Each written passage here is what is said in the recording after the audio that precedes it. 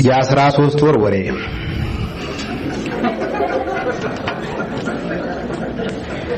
ፈረንጆች ያልተገደበ የንግግር ነጻነት አላቸው። ምን ዋጋ አለው ታዲያ? በፈረንጅ ሀገር ሰው እርስ በርሱ አይነጋገርም። ኒውዮርክ ወይም ሎንዶን ውስጥ ባቡር ተሳፈር፣ ምድረ ፈረንጅ ምላሱን ቤቱ ጥሎት የመጣ ይመስል እንደተለጎመ ተሳፍሮ እንደተለጎመ ይወርዳል። ልታወራው ስታቆበቁ ፊቱን እንደ ቪኖ ጠርሙስ በጋዜጣ ውስጥ ይሸፍናል። ለፈረንጅ ጋዜጣ ማለት ከጎረቤት የሚከልል ግድግዳ ማለት ነው። አበሻ አሜሪካ ውስጥ ብዙ ዘመን በስብሶ እንግሊዘኛውን በአሻሽል አይገረምህ። ከማን ጋር ተነጋግሮ ያሻሽለው? በቀደም ለታ ከአንዱ ከተማ ወደ አንዱ ከተማ በባቡር ስመጣ አንዲት አርባ ዙር የስጋ መቀነቱ በወገቧ የጠመጠመች ትልቅ የስጋ ጉንፍ ከብብቷ በታች ያንጠለጠለች ወፍራም አሮጊት አጠገቤ ቁጭ ብላ ነበር። ሲያቀብጠኝ ወግ መጀመር አምሮኝ hi I'm from Ethiopia ብላት አይኗን ከስልኳ ሳትነቅል why do I care እና ምን ይጠበስ ብላኝ ገገመች። በዘጠኝ ወር የአሜሪካ ቆይታዬ ከፈረንጅ ጋር የተለዋወጥኩት ረጅም ንግግር ይሄ ነው እንግዲህ። ከጥቂት ጊዜ በኋላ ንግግር የሚባለው ነገር በራሱ ጨርሶ እንደማይቀር ምን ዋስትና አለን?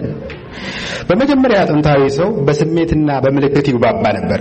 ቀጥሎ ንግግርን ከባዶ ላይ ፈለሰፈ። ለሺህ ዘመናት ያክል ሲናገር ሲናገር ሲናገር ሲናገር ኖሮ ደከመው። ከጥቂት ጊዜ በኋላ ንግግር እንደ እንጥል መቁረጥ ሊወገድ ይችላል። የሰው ታሪክ ዑደት ነው። ዞሮ ዞሮ ወደ መነሻው ይመለሳል። በተቃራኒው ኢትዮጵያ ውስጥ ሰው እንደ ጉድ ይነጋገራል። ከጥቂት ወራት በፊት እኔና ጓደኛዬ ምዑዝ ከአራት ኪሎ ሚኒባስ ተሳፍረን ወደ ውሃ ልማት እየመጣን የኮርኒስ የፎቁን እንቀባጥራለን። የባጥ የቆጡን ማለት ነው በአዲስ አበባ አነጋገር። አድዋ ድልድይ ስንደርስ አንድ ተሳፋሪ ገባና ገና ሙሉ በሙሉ ሰውነቱ ሚኒባስ ውስጥ ገብቶ ሲያልቅ አሁን በተናገራችሁት ነገር ላይ ትንሽ ለመጨመር ብሎ ባልተናገርነው ላይ መጨመር ጀመረ።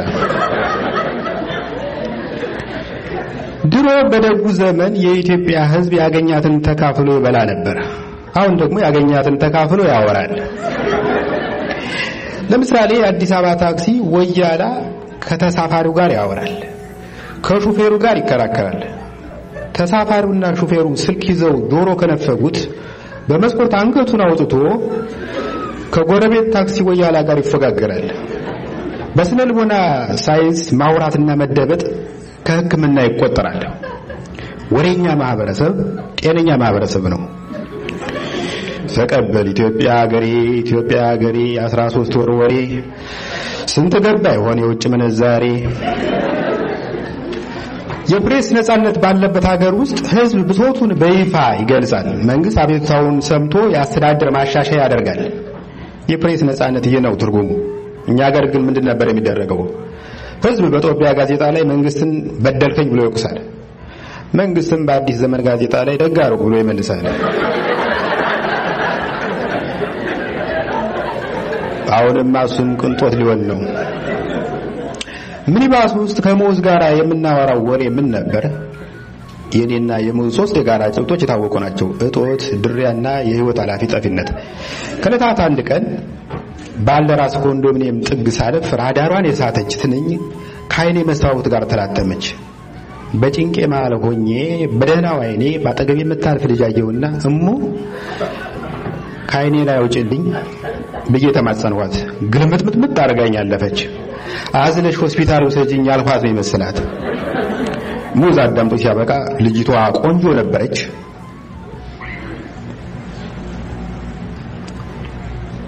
በዛ ጭንቅ ላይ ሆኜ ይህ እንዴት ላውቅ እችላለሁ? ጾታዋን የለየሁትም እኔ ሆኜ ነው አልኩት። ግድ የለም ቆንጆ ናት አለ ሙዝ። ቆንጆ ሴቶች ሁሉ ነገር ለከፋ ይመስላቸዋል። ገና ጡት ሲያጎጠጉጡ ጀምሮ ኑሯቸው በለከፋና በጅንጀና ስለሚጠመድ የሆነ ጊዜ ላይ ከጅንጀና ውጭ ያለውን ዓለም ይረሱታል። ይገርምሃል፣ ባለፈው ስጋ ቤት አንድ ኪሎ አስመዝኛ አስቆርጣለሁ። መቼም የዘንድሮ የሐረር ሰንጋ የጫት ገረባ እየበላ ስለሚደርብ ስጋው ኮብልስቶን ማለት ነው። የመጀመሪያውን ኮብል ሙዳ በዋዜ ወልውዬ እንደምን ሟጥኩት። ሁለተኛው ጉርሻ ግን እየተንፏቀቀ ወርዶ ደረቴ ላይ በተጠንቀቅ ቆመ። አበሻ ብቻውን የማይበላበት ምክንያት የገባኝ ያኔ ነው።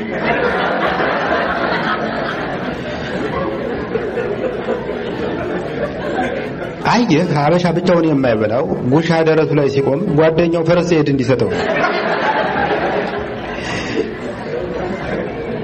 እና ወጪ ነፍስ ግቢ ነፍስ እየተናነቁ ዞር ስል የሆነ ችክ ተመለከቱ። ችኳ ሲፈጥራት ማጌጥ አብዝታ የታደላት ናት። ምን የመሰለ ስቴፕ አስከትላለች። ምን የመሰለ ወተት ቅል አስቀድማለች። ወይ ሙዝ በጣረሞት ተይዞ እንኳን ባይኑ ቂጥና ጡት የሚመዝን ጉድ እናለ በእጅ ወደ ጀርባዬ እየጠቆምኩ ስጋን ቆይ ነው ጀርባዬን ምችልኝ የሚል ምልክት አሳዩዋት። እየተሽኮረመመች ወደ ትሪዋ አቀረቀረች። እንዲሽ የሰጠ ነው ምናምን ያልኳት ነው የመሰላት። ዝነኛ ወንዶችና ቆንጆ ሴቶች የመጨረሻ self-centered ናቸው። ምድር ዛቢያዋን ትታ በእነሱ ገጽታ ዙሪያ የምትሽከረከር ነው የሚመስላቸው። እኔ በዛ ሰዓት መተንፈስ አቅቶኛል። ምድር ላይ ምድር እንደ ዲሽ ተገልብጦ ይታየኛል። ከሞት የበላይ አሟሟቴ ዝግንን አለኝ። ሰው በራብ በሚሞትበት ሀገር ውስጥ እግዚአብሔር እንዴት በመብል እንድሞት ይፈርድብኛል? አምላኬ አሪፍ አኗኗር ብትነሳኝ አሪፍ አሟሟት እንዴት ትነፍገኛለህ? ምናምን እያልኩ ወቀስኩት። አሪፍ አሟሟት እንዴት ነው አልኩት። ሙዝን ምን አባቅላለሁ ቢቸግረኝ እንጂ የሞት ምን እርፍናለሁ ብለህ ነው። አንድ ሰው በተቻለው መጠን ላለመሞት ነው መጠንቀቅ ያለበት። የግድ መሞት ካለበት ደግሞ በደንብ ተዘጋጅቶ PhD ውን ሰርቶ ዝዋይ የሚገኘውን የአበባ እርሻ ለታላቅ ልጄ፣ ዱባይ የሚገኘውን የነዳጅ ኩሬ ለታናሽ ልጄ ብሎ ተናዞ ንስሐ አባቱን ቢራ ጋብዞ ቢሞት ነው። ሲሞትም አረፋ ደፍቆ ተፈራግጦ ሳይሆን ዝንጥ ብሎ የመንኮራኩር ሞተር የተገጠመለት አልጋው ላይ ጎብ ብሎ ቀበቶውን ካጠበቀ በኋላ hey buddies see you in heaven ብሎ በመኝታ ቤቱ መስኮት ወጥቶልም ልክ ኤልያስ ሰረገላ የሰረገላ አይነት መሽን ወደ ምሮ አልመጣም። ታሪኩን ቀጥል አልኩት።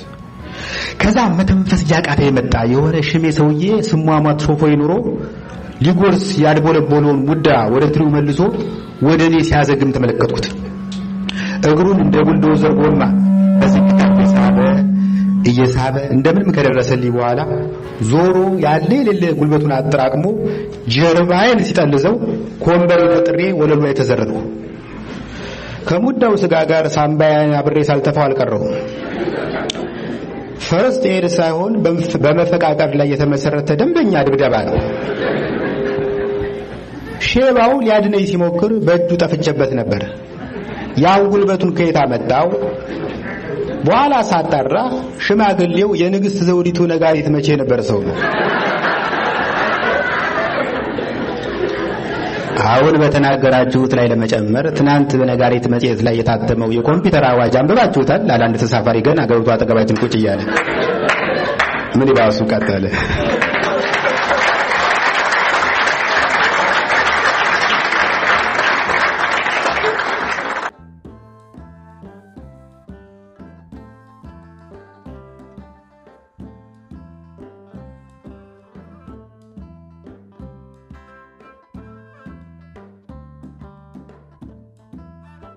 የባከነ ሌሊት። ወይ ሮንድ አላደሩ ወይ ኮከብ አልቆጠሩ ወይ ደልቶኝ አልጨፈሩ ወይ ውስኪ አልተዳፈሩ የባለጌ ወንበር ኮርቻ አልተሳፈሩ ወይ ሰዓታት ቆሜ ቤተክርስቲያን ስሜ ሰይጣን አላሳፈሩ ሌቦች ደብድበውት አንዱን ምስኪን ላስር በአምቢስ ድልድዩ ስር። ቆስሎ የወደቀ ገላው በላዩ ላይ እንደ ጨርቅ ያለቀ ፊቱ ተሸፍኖ በደምና አቧራ በውራዬን እርዱኝ ብሎ የሚጣራ ምስኪን አባዋራ ብብት ስር ገብቼ አፋፍሻ አንስቼ ተሸክሜ አድኜ ስፈልግ አምቡላንስ ሲሻኝ ዶክተር ሁኜ ወይ ምግባር አልሰራሁ ወይ ጀብድ አልፈጸምኩኝ ወይ ጽድቅ አላፈራሁ። አንድ በትረ ሙሴ ሁለት ሳሎሎ ከጭኔ መካከል ሲያመሽ ተንጠልጥሎ ሲባክን ዝም ብሎ እሸኝ እኔ ጀግና እንደ ጠመዥ ቆሎ። የምትል መለሎ ልቤን ሳትሰውረው አልጋዬን ሳትሰብረው ወግ ቢጤ ሙንጭሬ ፌስቡክ ላይ ሳለጥፍ እናቷን ጨረቃ የሚል ግጥም ሳልጥፍ። አንዲት ሴት አዳሪ ቺቺኒያ መንገድ ላይ እድሏ ሰባራ ሰውነቷ ማላይ ካፊያውና አምባዋ ተጋግዞ የሚያረጥባት ደንበኛ ስትጠብቅ ደመኛ ጥሎባት አምስት ደፋሪዎች ከበው ሲያዋክቧት ሲገፉ ሲስቧት ኧረ በእናታችሁ በወላድ ማህፀን እህት የላችሁም? ብላ ስትማጸን ልመኗ ስቦኝ እንዳበጀ በለው በደሏ አንገብግቦኝ ከኋላ ደርሼ ነበልባል ለብሼ ነበልባል ጎርሼ እንደ ብሩስሊ እንዳየሩ ጋኔን እግሬን ወንጨፍ ወንጨፍ ወዝወዝ ወዝወዝ ጎኔን በማረግ ቃኝቼ ከኋላ ነው ሲሉ ከፊት ተገኝቼ ከአምስቱ መካከል አራቱን ነጥዬ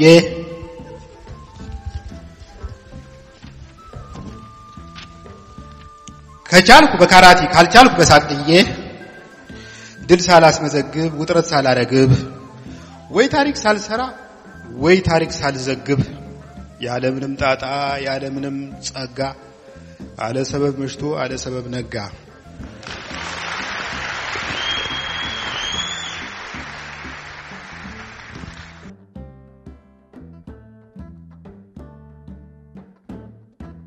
የገና ፋቡላ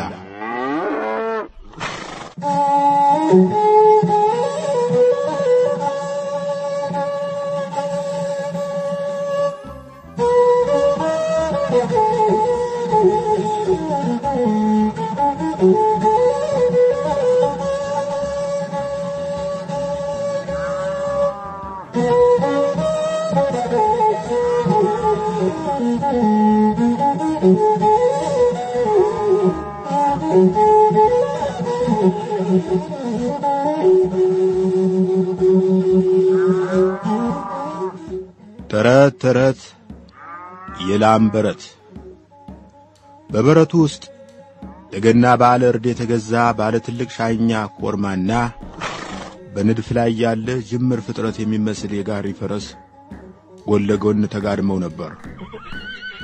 ተኛህ እንዴ ጋማህ ብዙ አለ ኮርማው ወደ ወዳጁ ዞር ብሎ። የለም አልተኛውም ቦራ አለ ጋማህ ብዙ። ምን ባክህ ይህንን ጥሬ አፍሼ አፍሼ ቁንጣን እንቅልፍ ከልክሎኛል። መቼም የኔ ጌታ ተሸክሜ የምደክም በልቼ የምጠግብ አይመስለው። ይገርምሃል ዛሬ የበላሁት ባቄላ በወፍጮ ቤት ቢያልፍ አስር ተጋሚ ነው ይወጣው ነበር። ኤዲያ ምን ነው በሞቴ ዋዜማ እንኳን ጉራህን ብትቀንስልኝ። ይልቅ ይህንን እንደ ድሃ ፍራሽ በጭድ የተጠቀጠቀ ሆድህን ከቀንዴ ግድም ዞር አድርገው። ኋላ በእንቅልፍ ልቤ ስወራጭ አጥፍቼህ እንዳልጠፋ እኔ የምለው አለ ጋማ ብዙ። እኔ የምለው ለምንድን ነው ግን ነገ እንድትሞት የፈረዱብህ? ነገ ዓመት ባላቸው ነው ሲል መለሰ ቦራ። ዓመት በዓል ምንድን ነው? ጋማ ብዙ ቀጠለ። ዓመት በዓል ዓመት በዓልማ የሰው ልጆች በቀንድ ከብቶች ላይ የዘር ማጥፋት ወንጀል የሚፈጽሙበት ቀን ነው። ድንገት ኮርማውንም ፈረሱንም ዝምታ እንደ ቀንበር ተጫናቸው፣ እንደ ዝማም ለጎማቸው። ለመሆኑ ዘር ተክተሃል? ሲል ዝምታውን ገፈፈው ፈረሱ። በልጅነቴ ስላኮላሹኝ አልወለድሁም። ቢሆንም ብዙ ተባዙ የሚለው ትእዛዝ ለእኔ በሌላ መንገድ ይፈጸማል። ነገ ረፋዱ ላይ ቅርጫ በተባለው የቅርምት ሥነ ሥርዓት አስራ ሁለት ቦታ ያባዙኛል። ወቸው ጉድ! እኔ እኮ ግርም የሚለኝ በሞት ድንበር ላይ ሆነህ እንኳን ተዘበት አለመመለስህ ነው። ሌላ ምን ማድረግ ይቻላል? አለ ቦራ። አንድ ፍጡር በዚች ዓለም ሲኖር በተቻለው አቅም ሁሉ መከራን ለማስወገድ መታገል አለበት። ይህንን ማድረግ ካልቻለ ደግሞ መከራን ለማዘግየት መጣር አለበት። ይህንን ማድረግ ካልቻለ ደግሞ መከራ እስኪመጣ ድረስ መደሰት አለበት ይል ነበር አጎቴ ነፍሱን ይማርና። አጎት አለህ? አለ ጋማ ብዙ የቦራ አጎት ፍልስፍና ስላልገባው ነገሩን የተከታተለው መሆኑን ለማሳየት ያህል ነበረኝ ቀጠለ ቦራ።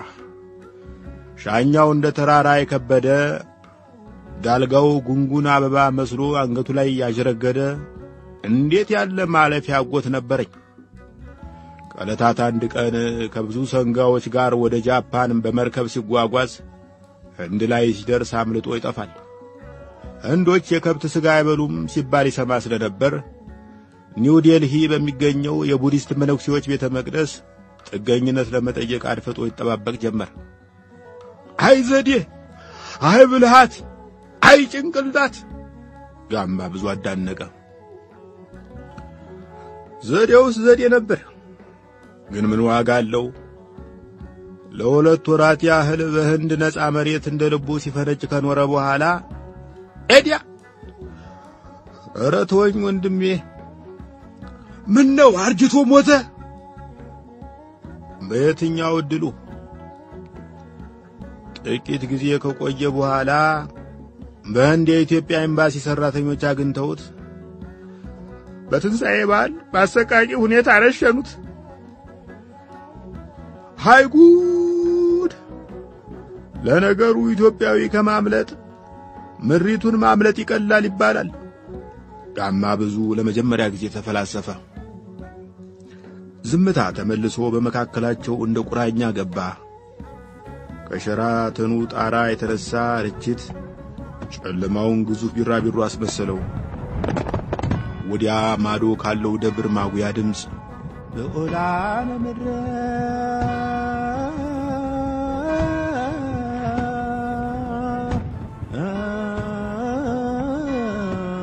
የሚል የምስባክ ዝማሬ ይሰማል። ኮርማው ለራሱ ማነብነብ ጀመረ። ዛሬ ሕያው ብሆንም ነገድ ሁለት ነኝ። ለሕይወቴስ ምን መታሰቢያ አላት? ቤቴ በረት መቃብሬም የሰው ሆድ ነው። ቦራ እዚህ አርፏል የሚል ጽሑፍ ቦርጩ ላይ የሚነቀስልኝ ሆዳም እንኳ የለም።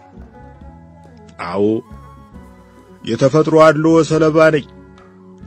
አማልክት ለፍጡራን የጦር ዕቃ ባደሉ ቀን የእኔ ቅድመ አያቶች ክራንቻና ጥፍር ተከፋፍሎ ካለቀ በኋላ ዘግይተው ደርሰው ከአዳኝ የማያስጥል ቀንድ እንደ ቆብ ደፉ። ነገ ዓመት በዓላቸው ነው ብለኸኛል። ተቀበለ ጋማ ብዙ። ምናልባት ዓመት በዓላቸው ከእናንተ ታሪክ ጋር የተገናኘ ነገር ይኖረ ይሆን? ኮርማው ለጥያቄው መልስ ሳይመልስ የበረቱን በር በትካዜ ሲመለከት ከቆየ በኋላ የሚከተለውን ተረከ። የዛሬ ሁለት ሺህ ዓመት ግድም የሆነ ታሪክ ልንገርህ። ምንጅላቴ ከባልንጀሮቹ ጋር በረት ውስጥ ተኝቷል። እኩለ ሌሊት ሆኗል። ጨረቃዋ የኩበት ፍም መስላ ሰማዩ ላይ ትነዳለች። በዙሪያዋ የከበባት ብርቱካንማ ብርሃን ከድቅድቁ ጨለማ ተነጥሎ የተጠረገ አውድማ ይመስላል። ነፋሱ አይነፍስም። ዛፎች በመሚ የደረቁ የግብፅ አስከሬኖች መስለው ከሩቅ ተገትረዋል። ምንጅላቴ ቀን የበላውን እያመነዠከ ስለ ስነ ፍጥረት ምስጢር ሲመራመር ከበረቱ ጉበል ላይ ውልብ የሚል ጥላ ተመለከተ። በጉዞ የተዳከመ የሚመስል ይሁዲ ሽማግሌ አህያ እየጎተተ ብቅ አለ። በአህያው ላይ አንዲት የተሸፋፈነች ነፍሰ ጡር ሴት ተቀምጣለች። ሽማግሌው ደግፎ አውረዳትና እየተጣደፈ በበረቱ ውስጥ የነበረውን ጭድ ጎዝጉዞ እንድትጋደም አደረገ። ሴቲቱ በተጎዘጎዘ ጭድ ላይ ጋደም ብላ ብዙ ከተወራጨች በኋላ በእግሮቿ መሃል የሕፃን ልጅ ጩኸት ተሰማ። ከጥቂት ጊዜ በኋላ በእናቱ ዕቅፍ ውስጥ ያለውን ሕፃን የሌሊቱ ብርድ ያንዘፈዝፈው ጀመር። ይህኔ ምንጅላቴና ሌሎች ኮርማዎች ጥጆችም ሳይቀሩ ከበው ሙቅ ትንፋሻቸውን አዋጥተው እንደ ጋቢ ያለበሱት። ያ ሕፃን ነገ ልደቱ የሚከበርለት ኢየሱስ ኖሯል። ታዲያ ምንጅላቶቻችን በዚያች ሌሊት የዋሉለትን ወለታ የሚከፍለው ዘር ማንዘራችንን ለጅምላ ጭፍጨፋ አሳልፎ በመስጠት ነው? ምን ትለዋለህ? ይህን ፍርድ ጋማ ብዙ ጋማ ብዙ ተኝቶ ነበር። ለነገሩ ባይተኛም ይህንን ጥያቄ መመለስ የሚያስችል ልቦና አልነበረውም።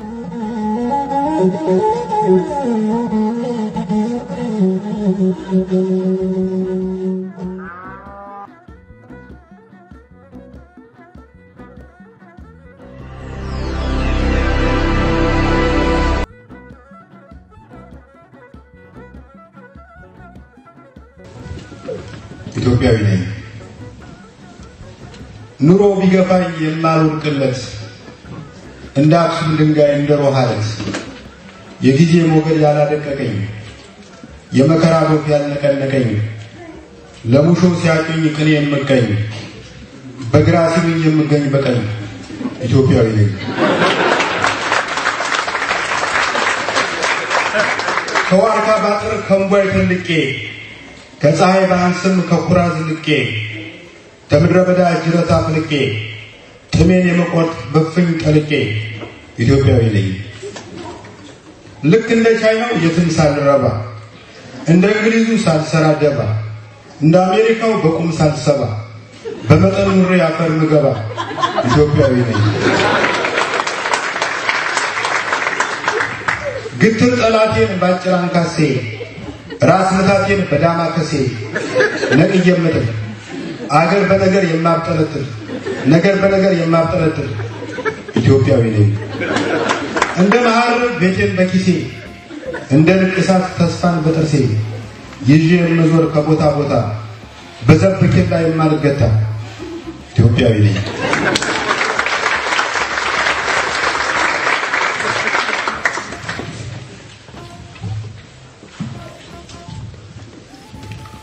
ለአባቴ የጻፍኩት ግጥም አነብላችኋለሁ። ለአባቴ ሰው ብቻ አይደለም ካፈር ወጥተህ ላፈር መልአክ ነህ ሉሲፈር ክብር ማንነትህ በአመፅ የሚታፈር የማትንበረከክ የማትርመጠመጥ ከባለጌ ዙፋን በርጩማ የምትመርጥ ያለ ባህር ሰርጓጅ ያለ ሙሴ በትር በመታገስ ብቻ ባህር የምትመትር ካዘርከኝ ጀምሮ እንኮኮ ጫንቃህ ላይ ከፍታውን እንጂ ዝቅታውን ላላይ እንደ ንስር መጠኩ እንደ ምስራቅ በራው የገዛ ክንፎችን እንደ ዳንቴል ሰራው። በእርግጥ ድሃ ነበር ከሰላምታ በቀር የማታበረክት ነጠላ መናኛ ሰውነትህ የክት በእርግጥ ድሃ ነበር የነጣህ የጠራ። ከጦር ሜዳ ይልቅ ገበያ የሚያስፈራ። ቤሳ ባታወርሰኝ አወረስከኝ ትግል። የትም እንዳይጥለኝ ሕይወት እንደፈንግል አባዬ ብርሃን አባ የምስራቅ በር። ገመና ሸሻጊ እንደ ካባ ገበር። አባቴ ባትሆን ይጸጽተኝ ነበር።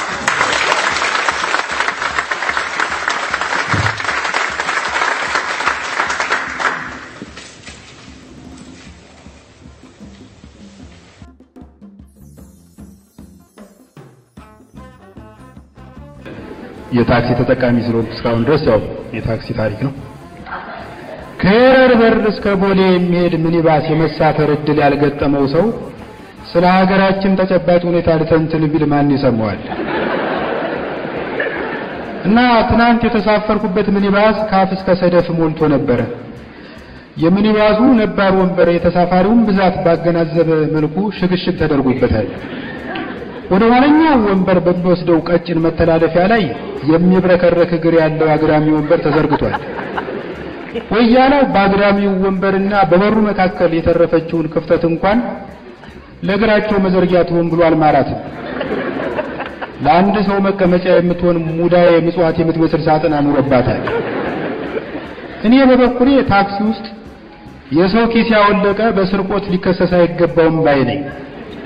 ምክንያቱም እጅህን ከደረት ላይ ባነሳ ቁጥር ሌላ ሰው ኪስ ውስጥ የመግባት እድል ሰፊ ነው።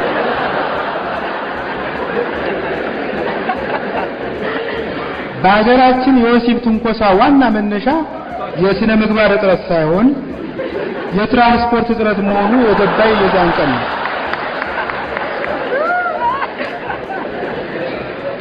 አልፎ አልፎ በሴት ተሳፋሪዎችና በወንድ ተሳፋሪዎች መሃል የግብረ ስጋ እንኳን ባይሆን የግብረ ወንበር ግንኙነት ያጋጥማል። ሳትፈልግ ከፊት ለፊት ካለው ወንበር ሞልቶ የፈሰሰ የሴት ገላ ጉልበት ላይ አስቀምጠህ ረጅም መንገድ ልትጓዝ ትችላለህ።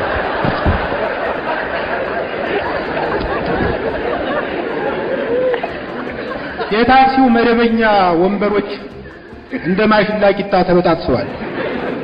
ወንበር አገኘው ብለህ ተንደርድረህ በአንደኛው ትራፊ ወንበር ላይ ፊት ብትልበት አፈንግጦ የወጣ ሚስማር ቂጥህ ላይ ማንም የማያደንቀው ድንብል ሊያበጅልህ ይችላል።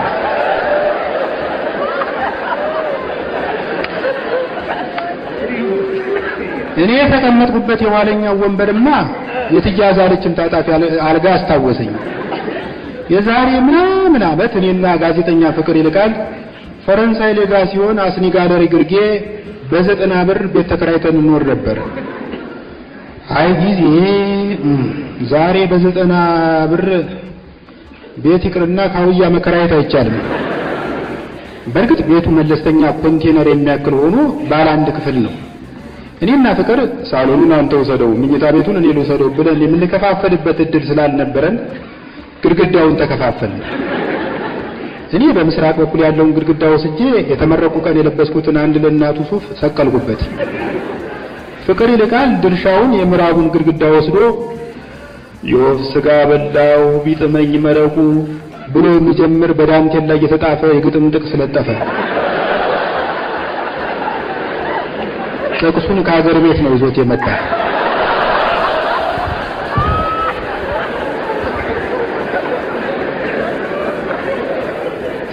ቤቱን ያከራየን ደላላ ቤቱ ፈርኒሽድ ነው ሲል ምን ለማለት እንደፈለገ የገባኝ ቆይቶ ነው። በቤቱ የምስራቅ ማዕዘን ላይ እግር ያለው የአሸዋ ማጣሪያ ወንፊት የሚመስል የረገበ አሮጌ የሽቦ አልጋ ተተክሏል።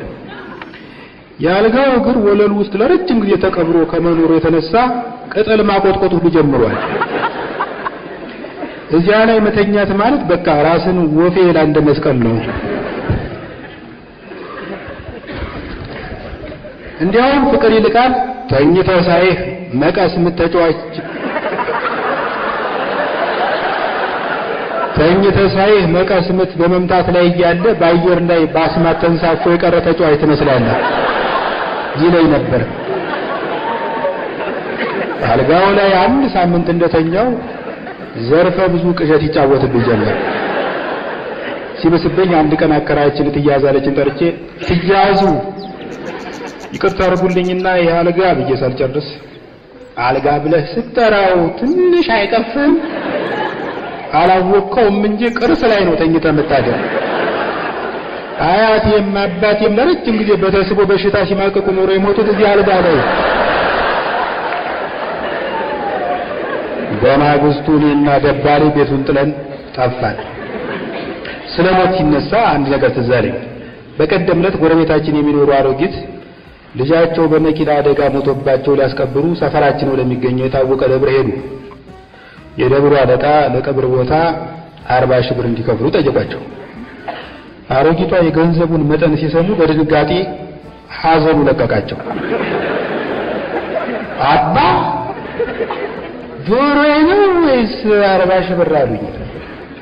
አዎ ለተ ማርያም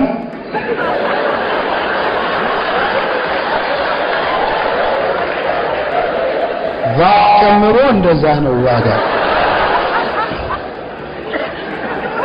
እኔ እኮ እኔ እኮ አሉ አሮጊቷ እኔ እኮ ልጄን ቅበሩልኝ እንጂ አስነሱልኝ አላለም።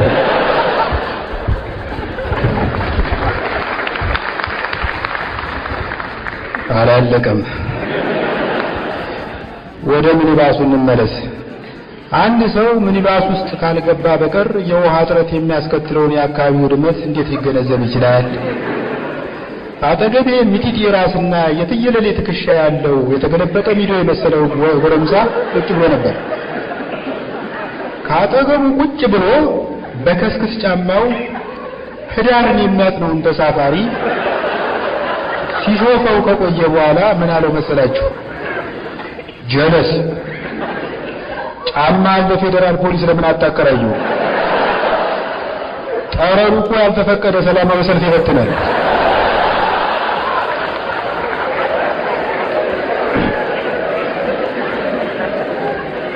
ቦሌ ጋር ስንደርስ እጄን ወደ ሱሬ የግራ ኪስ ሰደድኩ። የተልባ ማሻ ሚካኤሉ ድረስ ሁለት መቶ ብር አጭቆ የያዘ ቦርሳዬ በነበረበት አልተገኘም። በመጀመሪያ ደነገጥኩ፣ አጥብቄም አዘንኩ። ወዲያው ግን ተጽናናሁ። በዚያ ግፊያ መሃል ግራ ኩላሊቴ በነበረበት ቦታ መገኘቱም ተመስገን ነው። የደረሰብኝን ለወያላውና ለሾፌሩ ተናግሬ የምከፍለው ሁለት ብር እንደሌለኝ ለማስረዳት ሞከርኩ። ፍንክች አላሉ። ቢጨንቀኝ ሾፌሩን ሞባይል ቁጥርህን ስጠኝና የሁለት ብር ካርድ transfer ላድርግልህ አልኩት። በክርክራችን መሃል ሾፌሩ አተኩሮ ፊቴን ሾፈውና አንተ ገጣሚው ሰውዬ ነህ አይደል? እየተሽኮረመምኩ ገጣሚው ሰውዬ መሆኔን አረጋገጥኩ። አብሽር አንተ ደህና ከፈለክ ለዛሬ ሙያ የሚሆን ሁለት መቶ ብር አበድርሃለሁ ይለኛል ብዬ ስጠብቅ ያው ሁሉ መጽሐፍ እየቸበቸብክ እንዴት ሁለት ብር መክፈል ያቅታል? እንደነገርኩህ ቦርሳዬን ዘርፈውኝ ነው። በቃ ለጥቅስ የሚሆን ሁለት መስመር ግጥም ግጥም ገጥመህ ስጠንና ሂድ አለኝ ወያለው። ትንሽ አሰብኩና የዛሬ ምናምን ዓመት ፍቅር ይልቃል ግድግዳ ላይ ያየዋትን ጥቅስ ወረቀት ላይ ገልብጬ አቀበልኩት። የወፍ ስጋ በላሁ ቢጥመኝ መረቁ መታመት አይቀርም ምን ቢጠነቀቁ።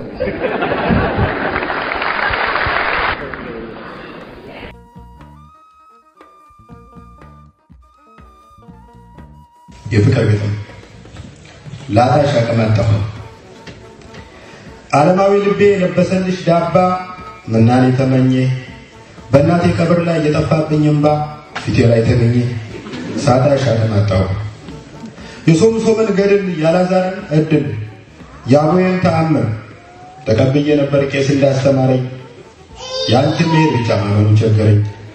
ልረሳሽ አልቻልኩም ልረሳሽ እልና ፊትሽን አትመሽ በይብስ በብራና ውብ ዓይንሽ ያውና ከንፈርሽ ያውና ፈገግታሽ ያውና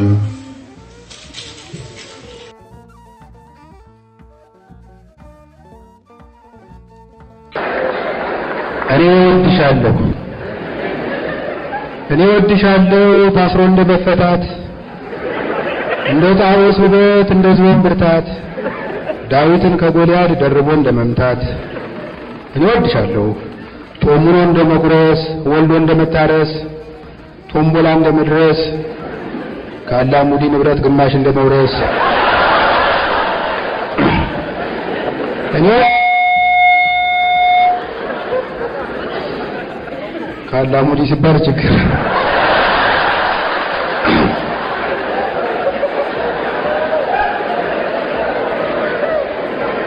እኔ ወድሻለሁ እንደ መቅደስ ዕጣን እንዳልፈኛ እንዳፍለኛ ስልጣን። እኔ አንቺ ቡዳ አንቺ ልዝብ ሰይጣን።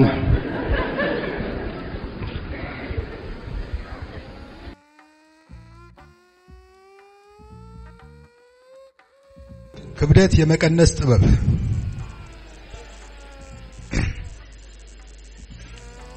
ያኔ ባቡር ሳይወጠን የሀያ ሁለት ማዞሪያ አየር በአዝመራ ሽሮ ሳይታጠን አባይን የደፈረው መሪ ሆስኒ ሙባረክ ሳይከነበል ታምራት ገለታ ቃሊቲን ሳይዳበል ታምራት ላይኔ ጌታን ሳይቀበል ከሀገር ወጣሁ።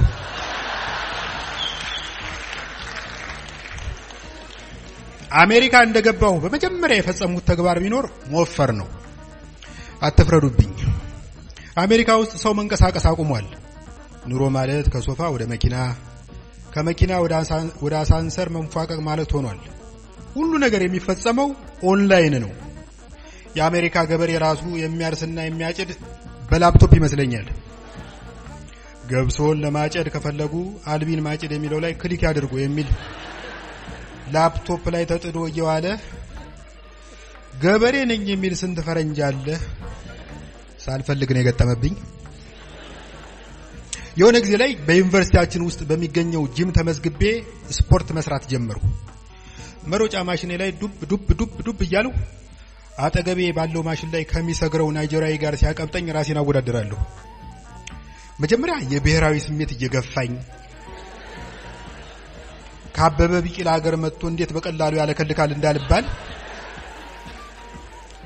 ጥርሴን ነክሼ ይህን ሩጫ አስነካሁት። እግርና ሳምባ ለብሔራዊ ስሜት ግድ እንደሌላቸው ያወቅኩት ሀያ ደቂቃ ከሮጥኩ በኋላ ነው። ሰው የአበበ ግዳይን ተሰጦ ይዞ እንደ አበበ ቢቂላ ካልሆንኩ ብሎ ይሟሟታል።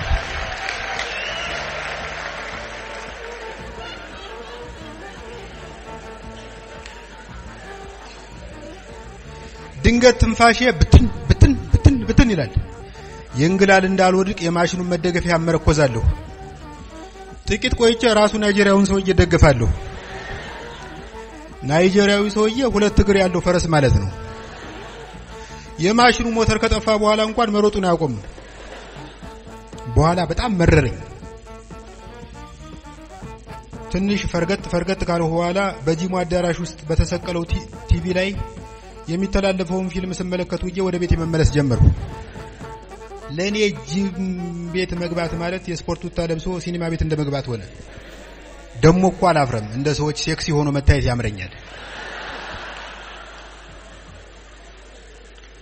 ላፕቶፔ ላይ ቦርጭ የሚያጠፋ ሶፍትዌር ጭኜ ፎቶዎችን ሸንቀጥ እያደረግኩ ፌስቡክ ላይ መለጠፍ ጀመርኩ። ምን ዋጋ አለው? ባለፈው አንዱ ከኔ ጋር የተነሳውን ፎቶ እንደወረደ ለቀቀው። ታዲያ አንዱ የአገሬ ተራቢ ያን ፎቶ አይቶ እረ የኬንያ ፖሊስ መሰልህ ብሎ ከተረበኝ በኋላ የገዛ ሰውነቴ እንደ ወህኒ ቤት ዩኒፎርም ቀፈፈኝ። የኬንያ ፖሊስ ይህን የበቆሎ ገንፎ እየነፋ እንደ ዋርካ ስለሚሰፋ ሌባን መጠቆም እንጂ ሌባን አባሮ መያዝ አይችልም።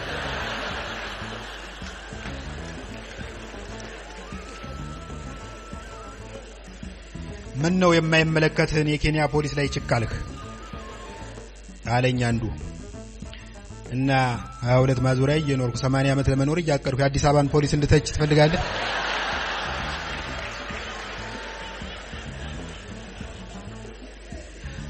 አገሬ በገባሁ በሳምንት ጊዜ ውስጥ ዘጠኝ ኪሎ ቀነስኩ።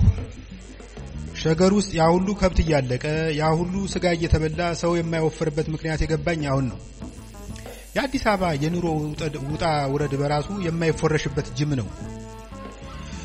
መታወቂያ ለማውጣት የሆነ ቢሮ ሂድ። የሆነች ሴትዮ ትቀበልህና ሁለተኛ ፎቅ ሂደህ ክፈል ትልሃለች። እየተቅመደመድክ ትወጣለህ። እዚያ ስትደርስ አንዱ ይቀበልህና ይህን ደረሰኝ ይዘህ አራት ፎቅ አራተኛው ፎቅ ላይ የሚገኘው ስራ አስኪያጅ ቢሮ ሂድ እያለ ከለክ እዚያ ስትደርስ የባለ ማህተሙ ጸሐፊ ትቀበልህና ስራ አስኪያጁ ለስራ ወጥተዋል፣ እስኪመለሱ ድረስ ሰባተኛው ፎቅ የሚገኘው ካፌ ሻይ ቡና እያልክ ቆይ ትላለች። የአዲስ አበባ ፎቅ ለወጉ ሊፍት ተገጥሞለታል። ግን ሊፍቱ ጥቂት ሰርቶ በመብራት ኃይል ስፖንሰር አድራጊነት ወደ ዕቃ መጋዘንነት ይቀየራል። ሰባተኛው ፎቅ ላይ እስክደርስ አንድ ሶስት ኪሎ ቀንሰሃል እና እዛ ቁጭ ብለህ ሻይ ፉት እያልክ አተት ሰባት ሰዎችን ገደለ የሚል ዜና ሲተላለፍ በቲቪ ታያለህ። ስምንተኛው የአተት ሰማዕት እኔ ልሆን እችላለሁ ብለህ በስጋት ሌላ ሁለት ኪሎ ትቀንሳለህ። ከዚህ ሁሉ ወደ ጎረቤት ሀገር ዞር ብዬ ለእናት ሀገሬ በተርፍላት አይሻልም ብለህ ማሰብ ትጀምራለህ። የህይወቴ ቤዛ እንደምነሽ ቪዛ ቪዛ ስለ የምከተለው ነገር ትዝ አለኝ። የሆኑ ሽማግሌ እንደነገሩኝ በኃይለ ሥላሴ ጊዜ ለአንድ ኢትዮጵያዊ ቪዛ ማግኘት ወደ ፍኖተ ሰላም የሚሄድ አውቶቡስ ትኬት ከማግኘት በጣም ይቀል ነበር። ሽሮ ሜዳ አካባቢ በእግርህ እየተንሸራሸርክ ትንሽ ካካፋ ዝናቡ እስኪያባራልኝ ለምን ቪዛ አልጠይቅም?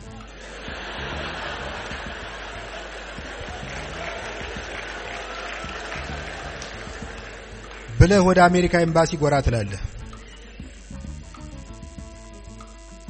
አምባሳደሩ በቢሯቸው ተቀብለው አሪፍ ቡና እየጋበዙ cookies ገፋ እያደረጉልህ አንተ ወጣት ኢትዮጵያዊ ወደ አሜሪካ ለመሄድ ስለፈቀድክ በጆን ኤፍ ኬኔዲ ስም የተሰማኝን ደስታ እገልጽልሃለሁ። የማትቸኩል ከሆነ አንድ ጥያቄ ልጠይቅህ። ለመሆኑ ቪዛውን የት ላይ ብመታልህ ትመርጣለህ? ፓስፖርት ላይ ወይስ የቀበሌ መታወቂያ ላይ? አለቀ። ዛሬ የኤምባሲ ጥያቄዎችን ምን ብለን ጠይቀን እንጣለው የሚሉ ነው የሚመስሉ። ለምሳሌ የቺስት ሀገር ዜጎች እንደሆንና ገንዘብ ለመስራት እንደምንሄድ እያወቁ የባንክ ደብተራችን ለምን እንደሚጠይቁን አይገባኝም። የዛሬ ምናምን ዓመት ክበበው ገዳና ተስፋዬ ካሳ ከኤምባሲ ኤምባሲ እንከራተቱ ነበር። አንዴ ጀርመን ኤምባሲ ገብተው ጥያቄ በጥሩ መንገድ ሲመልሱ ከቆዩ በኋላ ተቀማጭ ገንዘብ ካላችሁ ልታሳዩኝ ትችላላችሁ ስትል ጠየቀች ጀርመኒቱ። ተስፍሽ ፈጠን ብሎ ጀርመን ደርሰን ስንመጣ ማሳየት እንችላለን።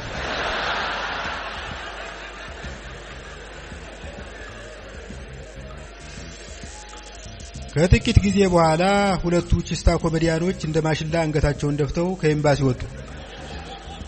የአካባቢው ጎረምሶች ከበቧቸውና ሰጧችሁ ሰጧችሁ።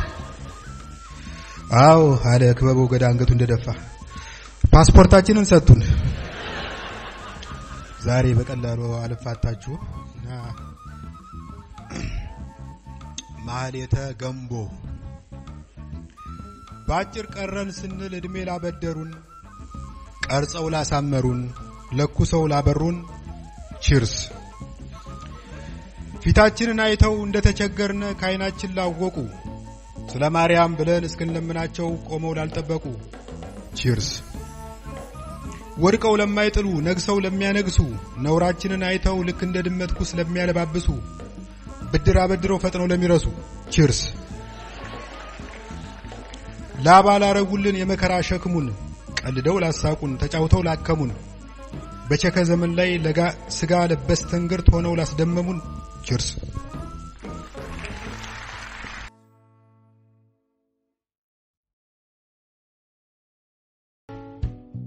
በጉብልነቴ ዘመን እንደ ዛሬ ዘፈንና ዘፋኝ አልበዛም ነበር።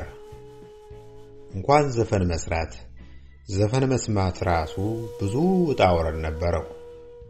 ዘፈን ማድመጥ ሲያምረን ከትምህርት ቤት ፎርፈን ሻይ ቤት ጎራ ማለት ነበረብን።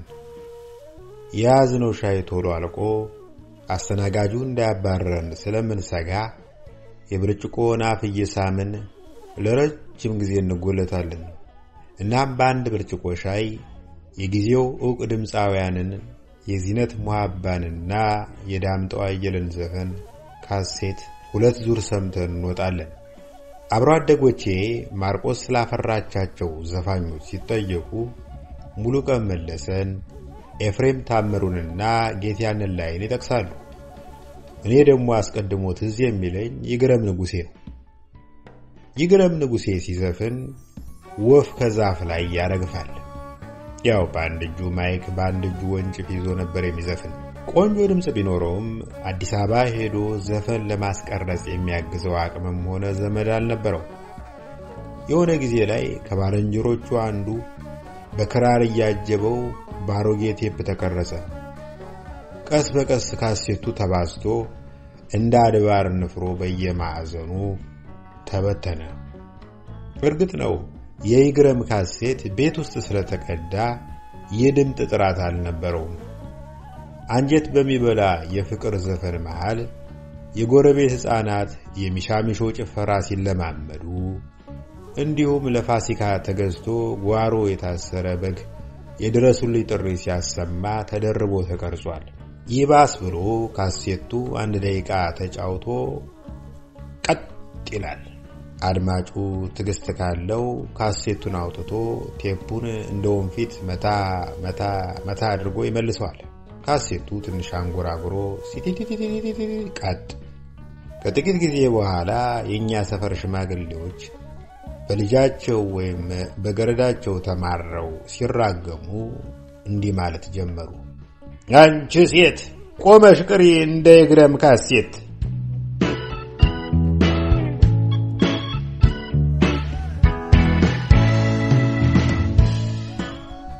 አስቻለው አየለ የዘገን ይላለት የሚለውን የይሁኔን በላይ ዝነኛ ዘፈን ዜማ የደረሰ ባለሙያ ነው። አንድ ቀን ዘመድ ወዳጅ ተሰብስቦ ክፍሉ ተጫጭሶ ዕፀ ሐሴት ተጎርሶ ስናወራ አስቻለው የሆነ ዜማ ብልጭ ብሎለት ተንደርድሮ ኪቦርዱ ላይ ተጣደ። ከዜማው ጋር ልውጣ ብል በእግሮቼ ብሄድ በፈረስ ፍቅርሽ እንደ ዳገት የሚል ጅምር ግጥም መጣለት። አስቻለው የዜማ እንጂ የግጥም ባለሙያ ስላልሆነ ዳገቱን የሚጨርስለት ሰው ፍለጋ ሲያማትር ጸጋዬ ደቦጭን አየው። ጸግሽዬ ንስማይችን ግጥም ጨርስልኝ። ጸጋዬ ደቦጭ በአማርኛ የዘፈን ግጥም ውስጥ ካሉ አንጸባራቂ ኮከቦች አንዱ ነው። ይሁን እንጂ የዚያን ቀን ግጥም የመግጠም ሙድ ላይ አልነበረም። ከይሁኔ በላይ ጋር ሞቅ ያለ ጭውውት ይዘዋል። አስቻለው ግን አልለቀቀውም።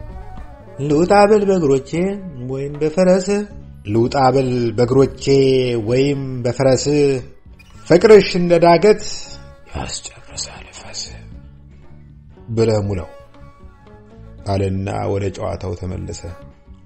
የሆነ ጊዜ ላይ ዘፋኞች በአንድ ጀንበር መክበር ጀምረው ነበር። አንዲት የጥንት አለቃሽ የመከራ ጊዜ ጥቂት ነው ወዳጁ፣ ደስታማ ሲሆን ይጨቀያል ደጁ እንዳለችው የዘፋኞችን በረከትና ደስታ ለመቀራመት የሚሽቀዳደሙ ወዳጆች መፍላት ጀመሩ። እገሌ የተባለው ዘፋኝ ወላጅ አባት እኔ ነኝ የሚሉ ሸባዎችም በየሚዲያው መቀላወጥ አበዙ። አንድ ማለዳ ላይ ድምፃዊ ጌራ ወርቅ ነቃ ጥበብ ሰው ይፈልጋል ተብሎ ከቤት ወጣ። ወዲያው አንድ ሽማግሌ ዘሎ ተጠመጠመበትና ልጄ እንኳን ደስ አለህ፣ የጠፋሁት አባት ተገኝቻለሁ፣ አቶ ነቃ ጥበብ ማለት እኔ ነኝ ብሎ ትከሻውን ተንተርሶ ማልቀስ ጀመረ። ጌራ ሰውዬ ተሳስተሃል፣ አሁን ስታስጠራኝ እኔ ከአባቴ ጋር ቁርስ እየበላው ነበር ብሎ በትህትና ሽማግሌውን ሁለት ሜትር ያህል ገፈትር። ሰውየው ባይበሉባው እምባውን እያበሰ እንዲህ አለ። እንግዲህ ምን አረጋለሁ ደግሞ ፍቅር አዲስ ነቃ ጥበብ ጋር ሄጄ ድል ልሞክር እንጂ።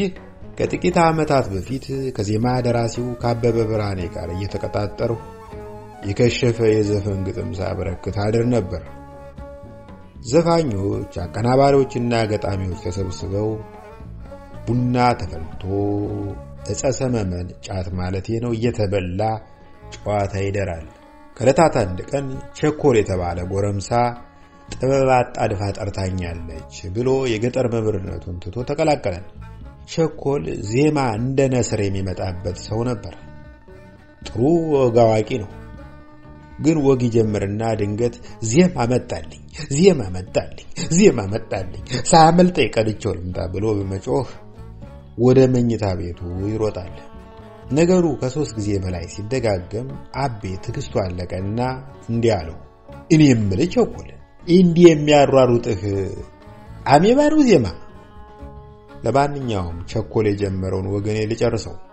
አንድ ድሃ ባላገር አንዲት ቆንጆ አፍቅሮ አባቷን ደጅ ጠና። ኩሩ አባት ልጄን ለማግባት መፈለግ ጥሩ ነው። ለመሆኑ መሬት አለህ? የለኝም። ከብትስ? የለኝም። ወርቅ ሳለህ? ኧረ የለኝም። ታዲያ ከሌለህ ብድራት ይሆናል ብለህ ነው?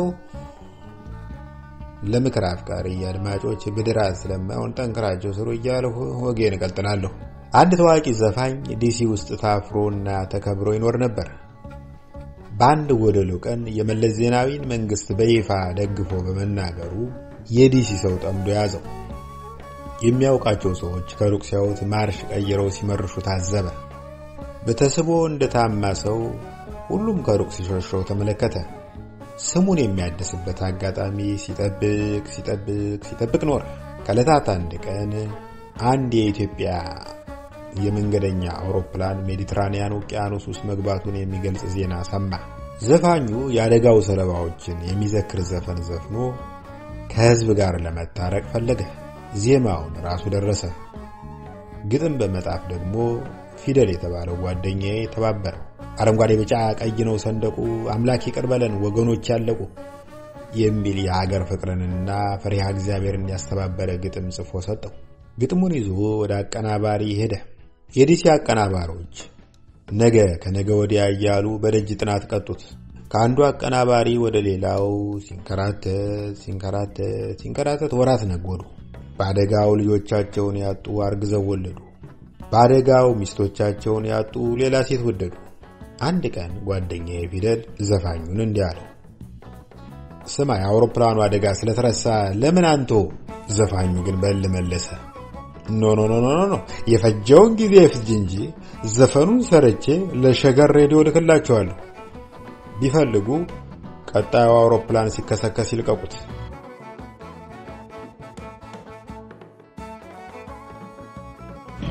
ተፈጥሮን ደጅ ልጥና እኔ ልሙትልሽ እያልሁኝ አልምልም፣ ቃላቴን መንዝሬ ለሞት ቀብድ አልከፍልም። ያኔ ትዝ ይልሻል? ራስህን ግደል ብለሽ በረኪና የላክሽልኝ ጊዜ እድሜ ለስጦታሽ ታጠበ ሸሚዜ። ገደብ ጫፍ በሌለው በልብሴ መጋዘን ቢታጨቅ መከራ ቢጠራቀም ሐዘን ባለፈልኝ እንጂ በሞት ብዬ አላውቅም። ካልጋ ላይ ነው እንጂ ከፎቅ ላይ አልወድቅም።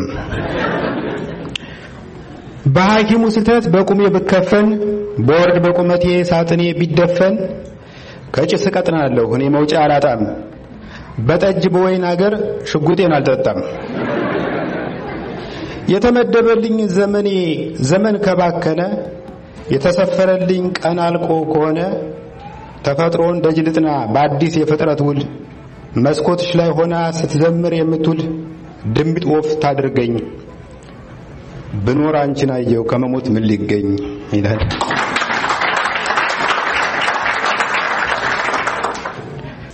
የአይገር ፍቅር።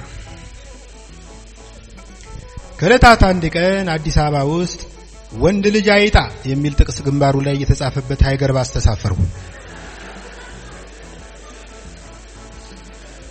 ሃይገር ባስ በዓለም የመጨረሻው መናኛ አውቶቡስ ነው።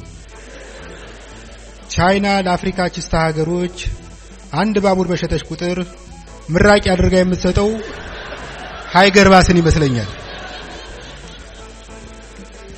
ደረጃ መዳቢዎች ከጋሪ ከፍ ከባጃጅ ዝቅ አድርገው ይመድቡታል። ባሱ ሁሌም በሰውና በጥቅስ የተሞላ ነው። አስር ሰው ከባሱ ሲወርድ አይተህ ወይ ግልግል ብለህ የተለቀቀ ወንበር ለመውረስ ስትታደፍ በምትኩ ሰላሳ ሰው ተክተልትሎ ገብቶ እንደ ጉም ያፍንሃል። ተሳፋሪው አንዱ ባንዱ ላይ ከመጣበቁ የተነሳ ከአውቶቡስ ስትወርድ የታጠቅከውን ቦላሌ ሳይቀር ጥለህ ልትወርድ ትችላለህ። በሀገር ባስ ውስጥ ብዙ ጊዜ ሙዚቃ አይከፈትም። ከተከፈተ አየሩን የሚቆጣጠሩት ኬኔዲ መንገሻና አረጋይ ወራሽ ናቸው። ከመሃል ካሉት ወንበሮች በአንዱ ላይ ቁጭ ብዬ የአውቶቡስን ባጥ የሙጥይ ብለው የቆሙትን ተሳፋሪዎች ብብት በማየት እየተዝናናው ነው። መዓት አይነት ብብት ይታየኛል።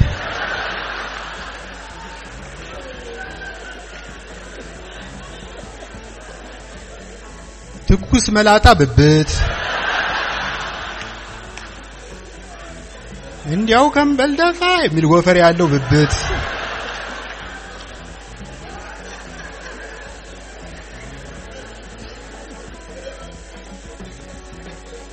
deodorant የጠገበ ዘመናዊ ብብት፣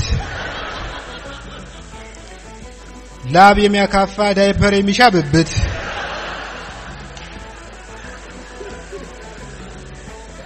በጠረኑ ጎረምሳ አይጥ መግደል የሚችል ብብት።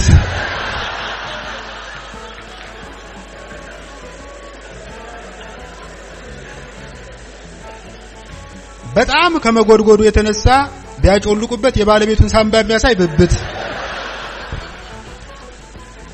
መሾፍ ሲሰለቸኝ ሞባይልን አውጥቼ መጎርጎር ጀመርኩ። አጠገቤ ያለው ሰውዬ የስልኬን ስክሪን ተመስጦ ቀረ። ልገላምጠው ፈልጌ ለመገላመጫ የሚሆን ክፍት ቦታ የለም። ወንድሜ ኧረ ተፋታኝ፣ ሞባይሌ የአራት ኪሎ ማስታወቂያ ሰሌዳ መሰለ እንዴ ልለው ፈልጌ ነበር። መተው ነገሬን ከተተው ብዬ ዝም አልሁ። ለነገሩ ብሳፈጠውስ ምን አመጣለሁ? ባሬላ ሲሸከም በኖረ መዳፉ ትንሽ ገፋ ቢያደርገኝ ከመስኮት ወጥቼ ተከታዩ አውቶቡስ ውስጥ ልገባ እችላለሁ። ሸማቾች ላይ ስንደርስ ታወርደኛለህ የሚል የሴት ድምፅ ሰማሁ። ወደ ድምጡ ዞር ስል በአሮጌ አንሶላ ሕፃን ልጅ ያዘለች ሴትዮ በቆመችበት ትወዛወዛለች። የልጁ ግማሽ ሰውነት እኔ ላይ ስላረፈ ተጋግዘን አዘል ነው ማለት ይቻላል። አሳዝናኝ ወንበሬን ለቀኩላት። በለቀኩት ወንበር ከበስተጀርባ የቆሞ የነበረ ጎረምሳ አመሰግናለሁ ብሎ ተቀመጠበት። የታዘለው ልጅ አውቶቡሱን በለቅሶ መቀወጥ ጀመረ። አባቢው እንጂ አልኳት። ተው አልቅሶ አልቅሶ ሲደክመው ሞተር ያጠፋል። ምን ነው ጨከንሽበት? የአብራክሽ ክፋይ አይደለም እንዴ? አይደለም። ስኳር ቅድሚያ የሚሰጠው ልጅ ላለው ነው ስለተባለ ተጎረቤት ተውሾው ነው።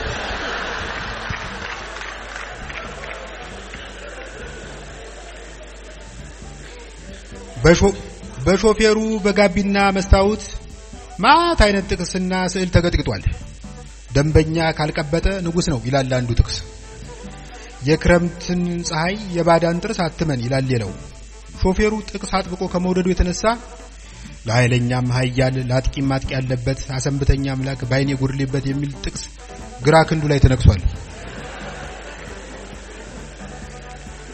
ስማ የሾፌሩ መስታወት በጥቅስና በስዕል ተሸፍኗል። መንገዱ እንዴት እያየ ነው የሚነዳ አልኩት። ወያለው አጠገቤ ፈቅስቆ ሲያልፍ አትጨነቅ ጀለሴ አለኝ ወያለው። ሾፌሩ አራት ዓመት በዚህ መስመር ስለነዳ መንገዱ አይጠፋውም።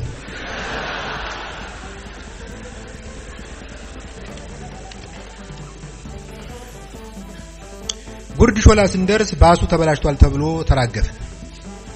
የጎዳናውን ዳር ይዤ ሊፍት ቀላውጣ ሊፍት እየቆላወጥሁ ቆምኩ። የኮሎኔል አልፋ ባለቤት ወይዘሮ ሮዝ አዲስ ሞዴል Land Rover እየነዱ አይተውኝ እንዳላዩኝ አለፉ። አልፈርድባቸውም። ለእኔ ሊፍት መስጠት አንድ ደባሪ ትዝታ ሊቀሰቅስባቸው ይችላል። በአንድ ወቅት እኔና ወይዘሮ ሮዝ ጂም ውለን ስንወጣ ሊፍት ጸደቁብኝ። ጋቢና ተቀምጬ እያወጋን ስንሄድ መብራት ያዘን። መብራት ላይ ኩላት ትፋን የመሰለች ግድንግድ የጎዳና ተዳዳሪ የመኪና መስኮት እያንኳኳች ትለምናለች። ለነገሩ ፊቷ ላይ ያለውን ኩራት ስለተመለከተ የምትለምን ሳይሆን ድርሻዋን የምትጠይቅ ነው የሚመስለው። ወይዘሮ ሮዝ መስታወቱን አወርደው ሽልንግ ሰጠው በመገላገል ፈንታ የቤት ሰራተኝነት ብቀጥርሽ ትሰሪያለሽ አሉ። ለምን አልሰራም መለሰች ኮረዳይቱ። ታያያለሽ። ጎዳና ተዳዳሪቱ የሰጠችውን ምላሽ መዝግቤ ለትውልድ ባላስተላልፈው ደስ ይለኝ ነበር። ያንቺን ጭገር ሲያበጥሩ ለመዋል ደግሞ ምን ተያዥ ያስፈልጋል?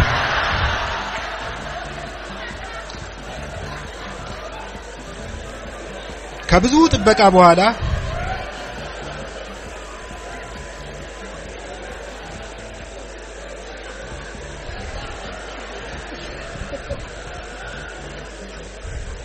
ከብዙ ጥበቃ በኋላ አንድ አውቶቡስ ያለሁበት ቦታ ደርሶ ቆመ። መላው ሰውነቴ ገብቶ ሳያልቅ ጉዞውን ተያይዞታል። ለመጀመሪያ ጊዜ በስነ ስርዓትና በጥሞና የተቀመጡት ተሳፋሪዎችን በማየቴ እየተገረምኩ ሾፌር መገናኛ ሲደርስ አወርደኛለህ አልሁ ወንበሬ ላይ ተደላድዬ። ጌታው ይሄ ቀራኒዮ መድኃኔዓለም የሚሄድ የንግስ አውቶቡስ ነው። ከዚህ በኋላ ደብረ ሊባኖስ ሳንደርስ አንቆምም።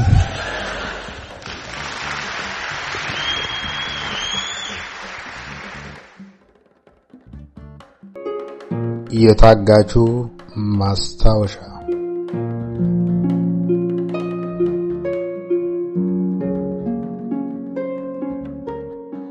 ዛሬ ከቤት ወጣሁ። የምሰነብትበት ከተማ ኦና ሆኗል። ለወትሮው ሰው እንደ ቅዳሜ ገበያ የሚተራመስበት መናፈሻ ጭር ብሏል። አንድ ጥቁር ሽማግሌ አግዳሚ ወንበር ላይ ተቀምጦ ለሁለት ርግቦች ፍርፋሪ ሲመግብ አየሁት። ወፎቹ እንደ ሙት ልጆች ሰሞኑን ቀላቢ ያተው ስለሰነበቱ ፍርፋሪው ከሰውየው መዳፍ እስኪወርድ አላስችል ብሏቸው ወደ ሰውየው ጣቶች እንጣጥ እንጣጥ ይላሉ። ሽማግሌው ገና ሲያይኝ ፊቱ በደስታ በራ። ብድግ አለና ወዲያው ደግሞ ተመልሶ ቁጭ አለ። አይኑን ክፉኛ ሰው ርቦታል። የአርጉም በፈገግታ ይተላለፋል ያሉኝ ይመስል ለፈገግታው ምላሽ ሳልሰጥ ኮስተር ብዬ ጉዞዬን ቀጠልሁ።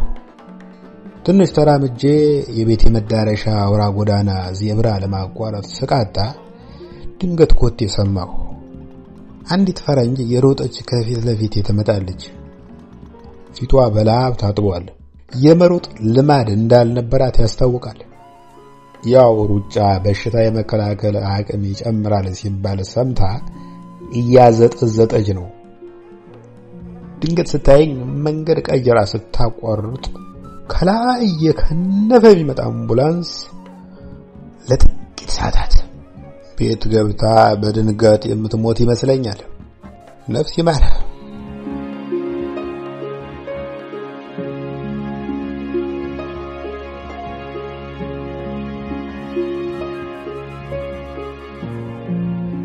ህዝቡ እንደ ኤሊ በየድንጋዩ ገብቷል። ቤቱ ቁጭ ብሎ ያከማቸውን ሲቀለብ ይውላል። ሱባኤውን ጨርሶ ሲወጣ ደግሞ ኮሌስትሮሉ አሸቅቦ ስቡ ልቡን ደምኖት ይሞታል። ችግሩ ኮሮና አይደለም። ችግሩ ሰው ሆኖ መፈጠር ሳይሆን አይቀርም። ሰው በዘመኑ ያልተጨነቀበት ጊዜ መች ኖሮ ያውቃል? ንጉሥ ኤዲፐስ እንዳለው ጨርሶ አለመወለድ ይሻል ይሆን? የሀገራችን አረሆ ያኔ ነበር እንጂ ሰው አልሆንም ማለት አዳምና ሔዋን የተፈጠሩለት ያለችው ተገልጦላት ይሆን? አገር ቤት ስደውል ምሬቴን የሚያጣፍጥ ነገር ሰማሁ። ራስን የመጠበቅ ዘመቻው ቢዘገይም ጥሩ እየተፋፋመ ነው። እስካሁን በዚህ ደደብ በሽታ የሞተ ዜጋ የለም። ለአጎቴ ልጅ ደወልሁለት። አጅሬ ተጣጥቦ ፈረንጅ ለመደብደብ እየወጣ እንደሆነ ነገረኝ። ተናድጄ ወረድኩበት። ይህን ጀብድህን ለግብፅ ጦርነት አቆየው። የፈረንጅ በረከት ተካፍለ ከኖርህ ከማታቸውም ለመካፈል መዘጋጀት አለብህ። ደግሞ እኮ የፈረንጅ መድኃኒት ከፋርማሲ ላይ ቢቀነስ ዳማ ካሴህና ሶስት ዙር የቡዳ መድኃኒት ነው እጅ ላይ የሚቀረው ብዬ ወቀስኩት። ጊዜን የማሳልፈው የክትባት ዜና በመጠበቅና ፊልም በማየት ነው። ፊልም ስልችት ሲለኝ ተነስቼ እንጎራደዳለሁ ወይም አንጎራጎራለሁ። ሳሎኔ ግድግዳ ላይ የተሰቀለውን ሱፌን ግጥም አድርጌ የተነሳሁትን ፎቶ በአድናቆትና ባዘኔታ እያየሁ ይብላሃላ ይብሎሃላ አንተንም መሬት ይብላሃላ ይብላሃላ ይብሎሃል አንተንም አፈር ይብላሃላ እያልሁ አዜማለሁ። ከዚያ ስልኬ ላይ ይጣዳለሁ። ቴሌግራም፣ ሜሴንጀር እና ቫይረስ ማለት ቫይበር ከፍታለሁ። የወዳጆቼ ጥያቄ፣ ምክርና መጽናኛ ይጎርፍልኛል። በውቄ ከምልክቶች ውስጥ ጀርባ ማከክ የሚባል ነገር አለ እንዴ? አለኝ አንዱ ደውሎ። የለም ተመስገን። ዝም ብዬ ያለ ሀሳብ ልከካ። ያው እንደ ልብህ ከካ ከካ አንዲቱ ትኩስ ነገር ደጋግመህ ጠጣ እሺ ብላ ምክር ሰደደችልኝ። ትኩስ ነገር ቫይረሱን ይገለዋል? ባይገድለውም ያቆስለዋል። ብለህ ጠጣ። ቅድም ደግሞ ለወዳጄ ለበየነ ደወልሁለት። ቀኑ እንዴት ያልፍልሃል? ምን ስትሰራ ነው የምትለው አልኩት። በአንድ እጄ remote control ኤን በአንድ እጄ ቆመጤን ይዤ ሶፋ ላይ ውዬ አድራለሁ አለና ፊታችሁን አትንኩ መባሉ በጀ እንጂ ፊት አውራራችሁን አትንኩ ይባል አልቆልኝ ነበር። ሁሌም ከእንቅልፌ ስነቃ እጄ በግራና በቀኝ እግሬ መካከል ድንበር የሚያሰምር ይመስል ጭኔ መሃል ነው የማገኘው አልና ተከዘ።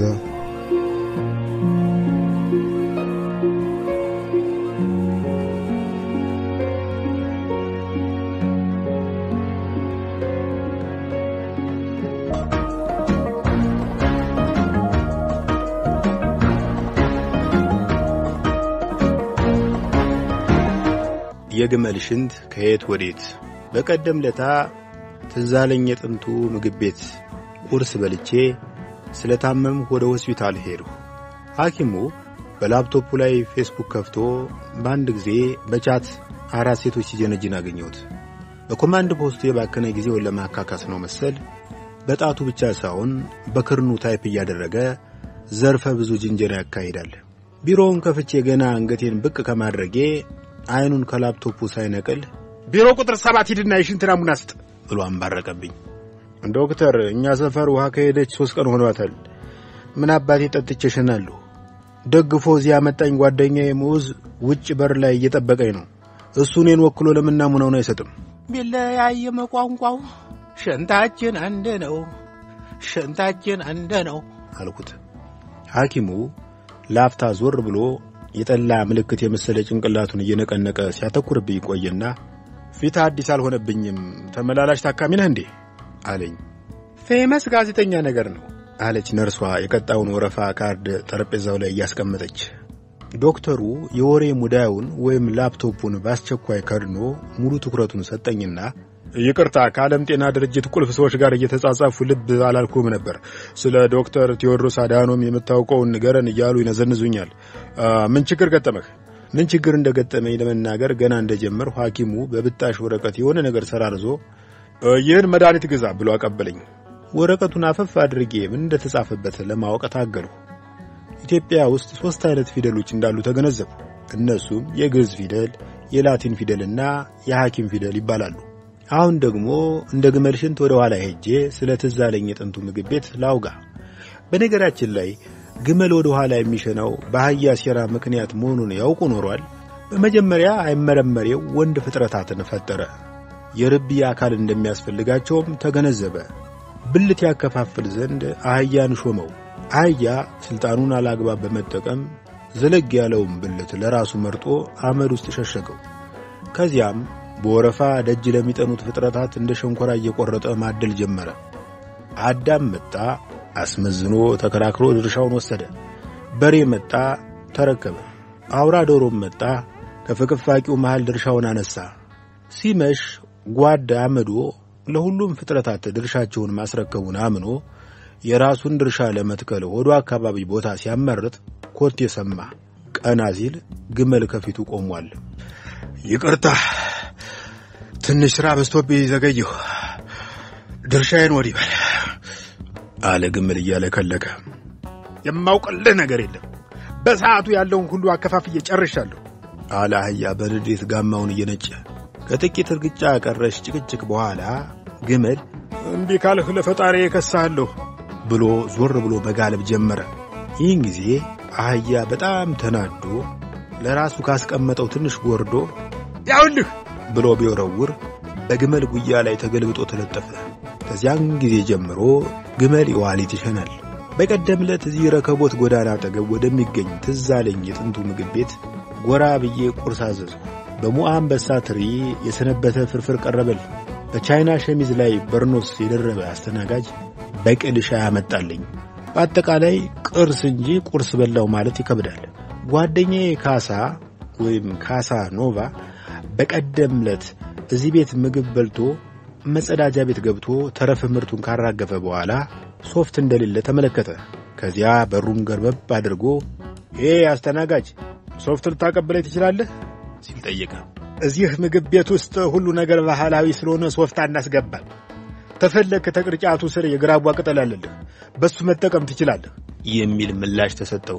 በማግስቱ ካሳ ተመልሶ መጥቶ ሹካ የሚያስቆረጥም ጨጨብሳ አዝዞ በላ።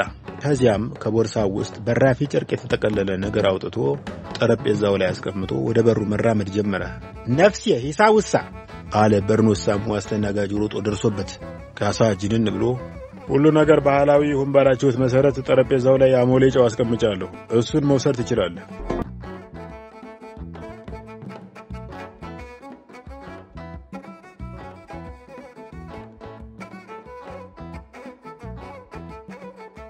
ያበደ ምሽት።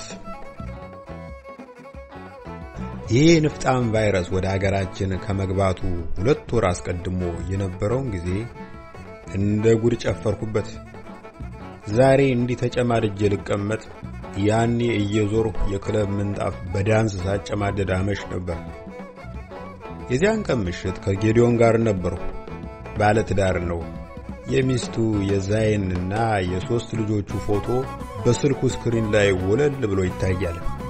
እኔ ስለ ጎተጎትኩት ሚስቱም እስቲ ዛሬ ወንድ ይውጣህ አምሽተና ብላ ስለገፋፋችው ነው እንጂ ጌዲዮን በተፈጥሮው መዝናናት የተሳነው ሰው ነው። እኔ ደግሞ ለቅብጠት ተዘጋጅቼ ነው የመጣሁት። ደንበኞች በአብዛኛው ጥንድ ጥንድ ሆነው ብርጭቆ ያጋጫሉ፣ ይሳሳቃሉ፣ ይሳሳማሉ።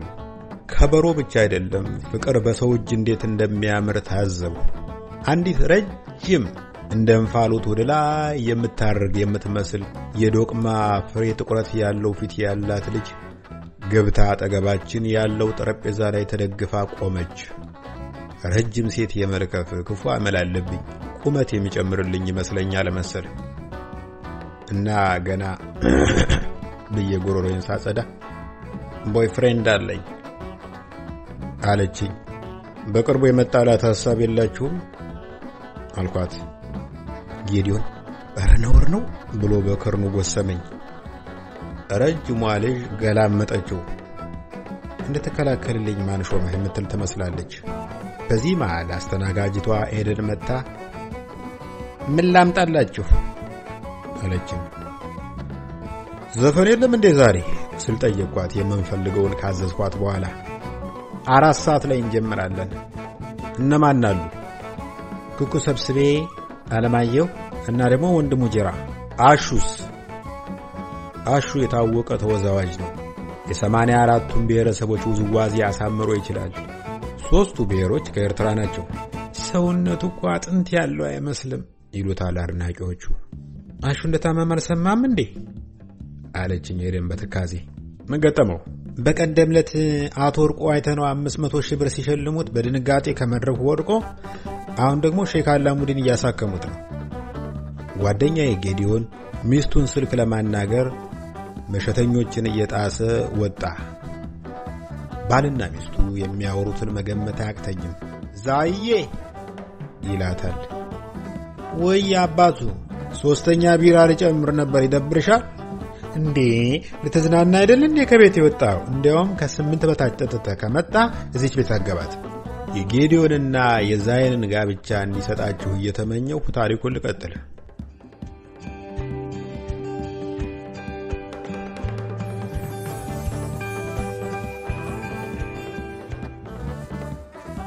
ትንሽ ቆይቶ የክለቡ ጸጥታ አስከባሪ አቦሌ ወደ ተቀመጥንበት ጠረጴዛ መጣ።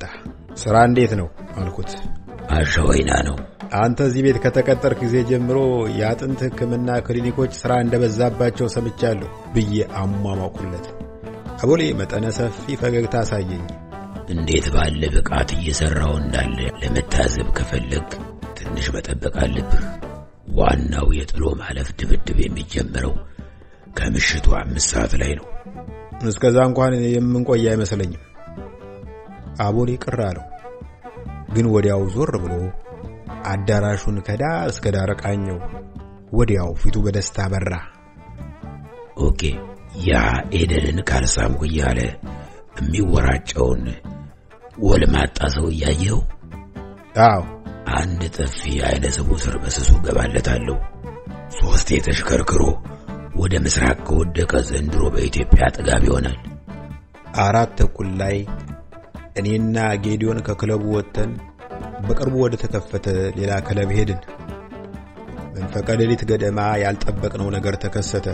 መደበኛው መብራት ጠፋና ባለ ኅብረ ቀለም መብራት ክፍሉ ውስጥ መንዠቅዠቅ ጀመረ። አንዲት ገለዋ በሁሉም አቅጣጫ ሞላ ሞላ ያለ ቆንጅዬ ሴትዮ ከሙታንታ በቀር እርቃን ሆና ወደ መድረኩ ወጣ። ምሰሶውን እየታገለች መውረግረግ ጀመረች። ደንበኞች ማውካት ማጨብጨብ ጀመሩ። እኔም ግራ እግሬን በቀኝ እግሬ ላይ ጭኜ ትዕይንቱን ለማጣጣም ተሰናደሁ። ጓደኛዬ ግን አልተመቸውም። ኮሌታዬን ጨምድዶ እያካለበ ይዞ ይወጣ። ጥቂት ጨዋ ታዳሚዎችም እያጉረመረሙ ተከተሉን። በረንዳው ላይ ቁጭ ብለን ቢራ እየጠጣን ስናወራ አንድ ሽማግሌ ከክለቡ ወጡ። በጣም ተናደዋል። በሽበት የተሞላውን የእርጎ ጣባ የመሰለውን ራሳቸውን እየነቀነቁ ከፊታችን ትንሽ ተንቆራጠጡ። ሲጃራቸውን አቀጣጠሉ። አንዴ ስበው ጭሱን ወደ ሰማይ ተኮሱት። በዕድሜ ማምሻ ላይ እንዲህ ያለ ጉድ ታሳየኝ የሚሉ መሰለኝ። ትውልዱን ወክዬ ትልቅ ድንጋይ ተሸክሜ እግራቸው ላይ ለመውደቅ ከጀለኝ። ዝግንኖት አይደል አባት አላቸው ጓደኛዬ። በጣም እንጂ አሉ ሽማግሌ። ስንት ሽንኩርት ሽንኩርት የመሳሰሉ ኮረዶች ባሉበት ሀገር እች እንደ ባደቦ ፈተው ይለቁብናል።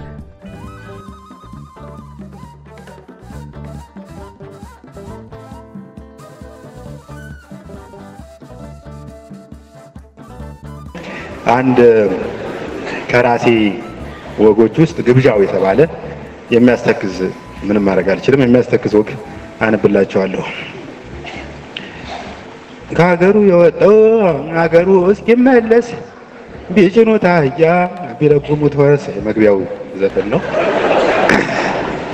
ከኢትዮጵያ ባህላዊ ዘፋኞች ቡድን ጋራ አሜሪካ በገባሁ ማግስት ዘፋኞች በዶላር ከበሩ። እኔ አጥብቄ ተቸገርሁ። በወይዘሮ የሺሻ ወርቅ night club ውስጥ ፋሲል ደሞዝ የጣውላ ክላሹን አነግቶ አረሱት የሁመራን መሬት ብሎ ዘፍኖ ሁመራን ለመሸመት የሚያስችል የሽልማት ዶላር ይዞ ሲወርድ እኔ ግጥም ለማንበብ ወደ መድረክ እወጣለሁ። ከዚያ በግጥም ደብተሬና በእኔ መሀል የቆመውን ወፍራም የሺሻ ጭስ ባይበሉባዬ ገለል አድርጌ ዓለማዊ ልቤ ለበሰልሽ ዳባ ምናኔ የተመኘ በእናቴ ቀብር ላይ እየጠፋብኝም በፊቴ ላይ ተገኘ ብዬ ስጀምር አያስጨርሱኝም። ምናኔ ደግሞ ምንድን ነው ትላለች ከጥግ ቁጭ ብላ ሺሻ የምጠባ ደንበኛ። ብልጭ ይልብኛል። ግጥሜን አረፌ ላንብብ ወይስ አንቺን አማርኛ ላስተምር?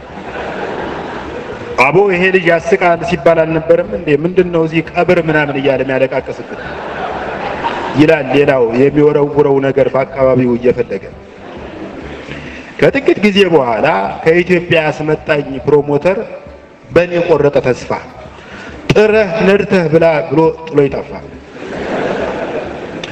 ኢትዮጵያ ውስጥ ምግብ አማረጥ የነበርኩት ሰውዬ አሜሪካ ውስጥ ያለ ፈቃዴ በተከታታይ ጦም ጀመር። አሜሪካ የመብል ሀገር ናት። እንዲያውም አሜሪካ ሀገር አይደለችም፣ ዲሞክራሲያዊ የግብር ማቢያ አዳራሽ ናት። ጠዋት የቤቴን በር ስከፍት ጎረቤቴ ከሚኖሩት ዘፋኞች ከነ ጃምቦ ጆቴ ክፍል ማት አይነት የፕላስቲክ አገልግል፣ የሰርዲን ጣሳ፣ ድርብ ሰረዝ የመሰለ በርገር እንዲሁም የቢራ ጠርሙስ እየተጠረዘ ሲወጣ ያለው ከጎረቤት የምቾት ተረፈ ምርት እየተተለተለ ሲወጣ እያየው ያለማቋረጥ አዛጋለሁ። ልክ ጓድ ኮምጬ አምባው መፈክር ሲያሰማ ያደርገው እንደነበረው እጄ የምድርን ኮርኔስ እስኪነካ ድረስ እየተንጠራራሁ አዛጋለሁ። ሲብስብኝ ማንኛውንም የምሳ ግብዣ ያለምንም ቅድመ ሁኔታ መቀበል ጀምረው ዘፋኞች ተጋባዥ ገጣሚ በማለት ይጠሩ ይጀምር። አንድ ቀን የቨርጂኒያ ከተማ አውራ ጎዳና ዳር ቆሜ በጥሞና አሰላስላለሁ። ፊቴ ላይ የሚታየውን ጥልቅ ጥሞና የተመለከተ ስለ ቀጣዩ የሀገራችን ዕጣ ፈንታ እንጂ ስለ ቀጣዩ ምሳ እያሰበ ነው ብሎ አይገምትም። ሀይ በእውነቱ የሚል የሴት ድምፅ አባነነኝ። አንዲት የሀገሬ ልጅ መኪናዋን አቆመችልኝ። ስሟን ለጊዜው ጉዲት ልበላት። አይኔ ደረቷ ላይ ተተከለ።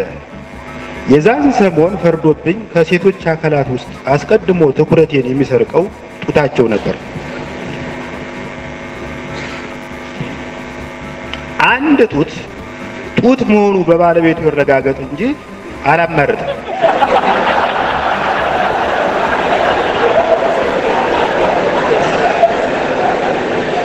ከጡት ጡት አላበላለጥም። ድቡልቡል ጡት፣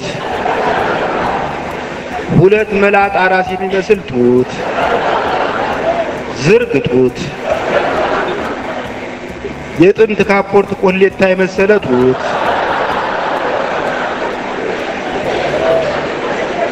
ደረት ለመሆን ትንሽ የቀረው ጡት፣ አብስትራክት ጡት፣ የምታምነው ግን የማትዳስሰው ጡት። ምን አይነት ሸፋዳ ብትሆን ነው ርቦህ እንኳን ጡት የምትሾፈው የሚል አንባቢ አይጠፋም። ወገን ጉዳዩ የሽፍደት አይደለም። ጡት ማየት ልክ የድግስ ሞሰብ እንደ መክፈት ነው። ለመጀመሪያ ጊዜ ከምግብ ጋር የተዋወቅነው በሴቶች ጡት በኩል መሆኑን አንርሳ። ትንሽ ከተደናነቅን በኋላ ለምን ምሳ አብረን አንበላም አለች ጉዲት። ገና ምሳ የሚለው ሀረግ በአየር ላይ እያለ እኔ መኪናዋን ከፍቼ ከኋላ ተቀምጫለሁ። ትንሽ እንደሄድን ጉዲት መኪናዋን ከአንድ ጣቢያ አጠገብ አቆመች። የሆነ አራት ማዕዘን ሰውዬ ገብቶ አጠገቧ ተቀመጠ። ከዚያ ዞር ብሎ የማን አባቱ ጉቶ ነው በሚል አይነት አየ። ወዲያው ግን በድጋሜ ከተመለከተኝ በኋላ አጅሬ አንተ ነህ እንዴ? ለመሆኑ ወደ ስነ ጽሑፍ ዓለም እንዴት ገባህ? እያለ በባዶ ሆድ ያደርቀኝ ጀመረ። ቤት ገብተን ጉዲት ምሳ ለመስራት ወደ ጓዳ ገባች። ሰውየው የፍቅርና የትዳር ታሪኩን ባጭሩ ለሁለት ሰዓት ያልተረከልኝ።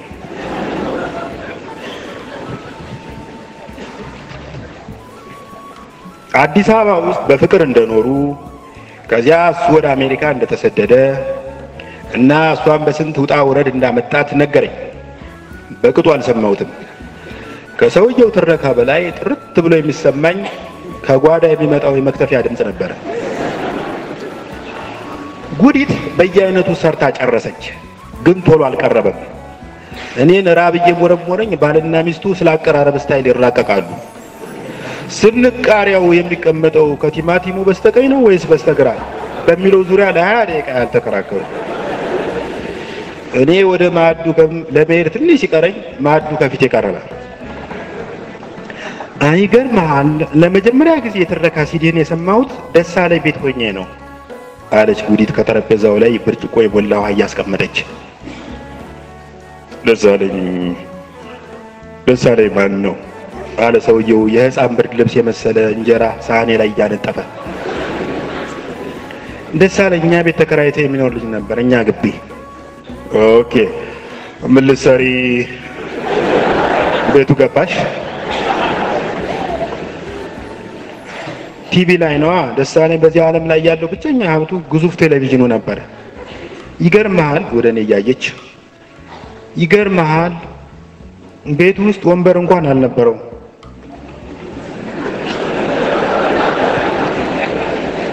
ወንበር ከሌለው ቲቪው ምን ላይ ተቀምጠሽ አየሽው? ሰውየው አፈጠጠ። አልጋው ጫፍ ላይ ነዋ አለች ፈገግታው እንዳመጣት እየታገለች። ሰውየው ለመደባደብ ያሟሙቅ ጀመር። ብድግ ብዬ ተው እንጂ ነውር አይደለም እንዴ ምናምን እያልሁ በመሀላቸው ገባሁ። ነውር አይደለም እንዴ at least ምሳዬን እስክበላ ለምን አትታገሱም አልሁ በልቤ። አሜሪካ እንዳለህ አትርሳ፣ ጫፌን አትነካኝ አለች ጉዲት ከመጤፍ ሳትቆጥረው። እውነቷን ነው። አሜሪካ ውስጥ ሴትን ጫፏን መንካት ትልቅ ወንጀል ነው እና ወንዶች ንዴታቸውን የሚወጡት ግድግዳ በቴስታ በመምታት ወይም የመኪና ጎማ በካልቾ በመጠለዝ ነው። ሰውየው በንዴት አረፋ እየደፈቀ ዞር ሲል ከግድግዳው የተሻለ ማስተንፈሻ ተመለከተ። ቁልቁል አየ። ቀጥሎ የተከሰተውን ነገር ተረስቶኛል። ብቻ አቦ ወደዛ ዞር በልልኝ ብሎ ሲልና የመጥረቢያ ዛቢያ የመሰለው ክርኑ ወደ አንገቴ ሲሰነዘር ትዝ ይለኛል። አንገቴ ወደ ቀድሞ ጤንነቱና ውበቱ ለመመለስ ለአንድ ሳምንት የቢትልስ ሹራብ ኮሌታ የመሰለ ጀሶ ድጋፍ ማግኘት ነበረበት እና እስከ ዛሬ ድረስ አንገት ከሚሰበር ባይበላስ ቢቀር የሚል የቴዲ አፍሮ ዘፈን በሰማሁ ቁጥር ይሄ ልጅ የኔን ታሪክ ማን ነግሮት ይሆን እላለሁ። አመሰግናለሁ።